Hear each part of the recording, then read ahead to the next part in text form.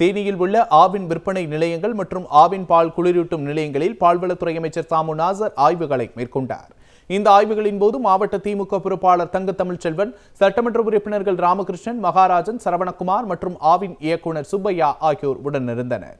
இதனைத் தொடர்ந்து செய்தியாளர்களிடம் பேசிய அவர் கடந்த அதிமுக ஆட்சியில் நடைபெற்ற ஊழல்கள் குறித்து ஆய்வுகள் மேற்கொள்ளப்பட்டு வருவதாக தெரிவித்தார்.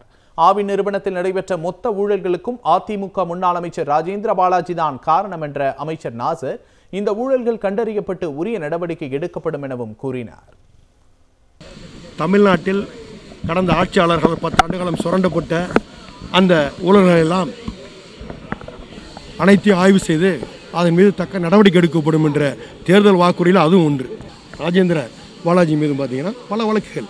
அவர் வந்து ஏறக்குறைய பார்த்தீங்கன்னா ரவீந்திர ரவிச்சந்திரன் சொல்லி ஒருத்தர் சாத்தூரை சேர்ந்தவர். அந்த சாத்தூர் காவல் நிலையத்தில் ரிப்போர்ட் தர போலீஸில் ஒரு ரிப்போர்ட்டை தர என்னன்னாக்கா முப்பது லட்ச ரூபா என்னை வாங்கி ஏமாற்றிட்டாரு யாருனாக்கா இதெல்லாம் வந்து இன்வெஸ்டிகேஷனில் நடவடிக்கையில் இருந்துகிட்ருக்கு